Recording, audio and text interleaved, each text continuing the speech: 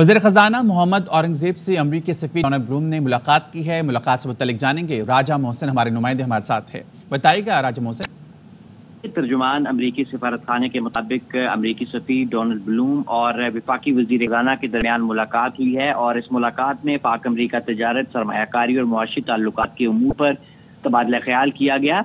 अमरीकी सफीर ने इस मौके पर पाकिस्तान के मुआशी हालात और असलाहत के एजेंडे के लिए जारी अमरीकी हमायत पर रोशनी डाली। आ, इसके साथ साथ अमरीकी सफीर ने इस मुलाकात में ये कहा कि अमरीका पाकिस्तान के साथ तकनीकी और तरक्याती शोबों में काम करने के लिए पुरज़म है और अमरीका पाकिस्तान के मुआशी मुस्तबिल के लिए एक मज़बूत शराकतदार है। बहुत शुक्रिया राजा मोहसन एजाज।